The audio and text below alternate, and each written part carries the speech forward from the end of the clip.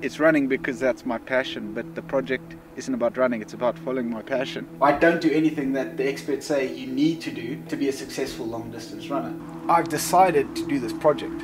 And in deciding to that, I've sort of given it blanket, sort of carte blanche, right? I will accept come what may.